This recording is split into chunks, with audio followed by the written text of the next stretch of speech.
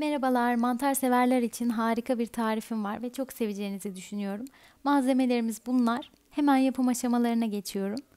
Mantarlarımı temizledim, yıkadım. Fırın kabına alıyorum şimdi hepsini teker teker.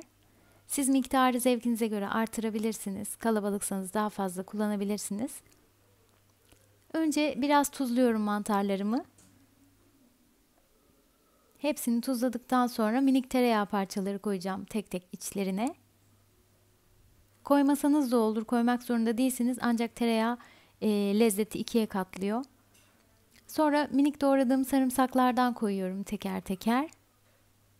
Bence sarımsak olmazsa olmaz. Ardından cevizlerimi koyuyorum içlerine.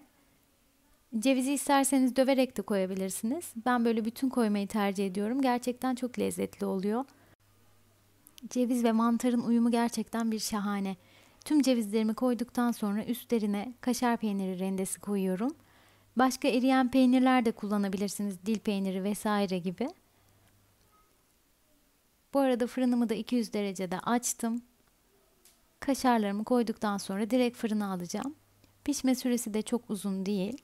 Kaşarlar eriyip kızarana kadar tutmanız yeterli. Ve sıcak servis etmenizi öneririm tabii ki.